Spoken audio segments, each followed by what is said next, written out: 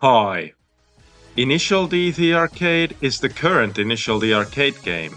It was released in 2021 and has received tons of updates regularly.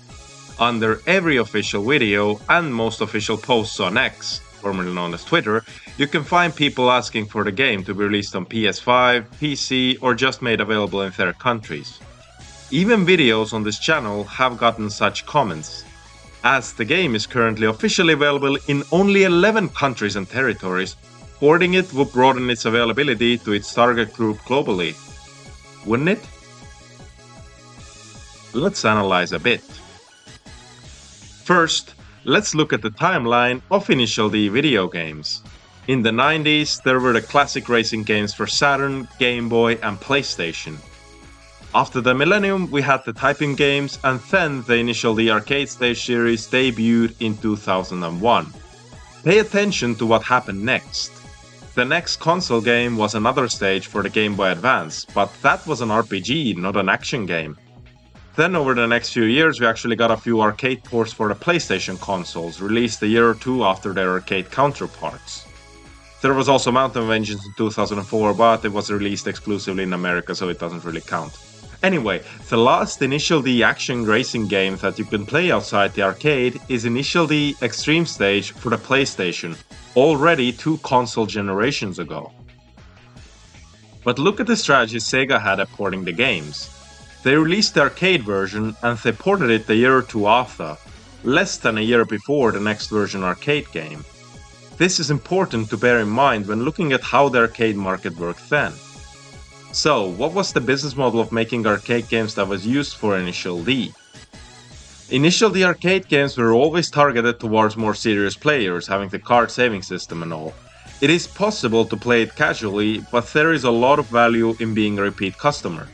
The period from the release of Initial D Arcade Stage to the release of Initial D Arcade Stage 0 was 16 years, with 8 games released within that period, meaning the average lifespan of a game is 2 years. The formula is the following. You release a game, a couple years later you improve it, you add some things, maybe also remove something so you would have something to add in the future, and you release the sequel. After the sequel is released, you will discontinue the original. With the sequel, you will keep on repeating the same cycle. If you port the game, you will do so in the latter half of its lifespan, increasing the profits from that particular game and maybe adding some hype for the next game, while also not interfering with the profits of the sequel too much, since it should be an inferior game. This formula was kept until Initial D Arcade Stage 0. Then it became possible to update the game over the web.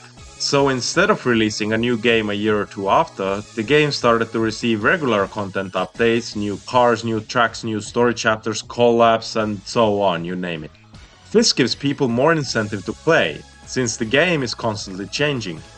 They took this even further with Initial D the Arcade. Now there are also limited time awards that change every month or two or so that you can get by playing during that period. Not to mention the leaderboards. So, coming to the title of the video, why there will not be a port of Initial D the Arcade, at least in the near future. Simply put, it is because it is an ongoing arcade game. The arcade industry is not in the same place where it was 20 years ago. You need to keep giving players incentives to play the game at the arcade, otherwise, it is not worth it. If you release a port, it will harm the profits of the arcade version. This also means that there won't be any initial D action racing games during this period.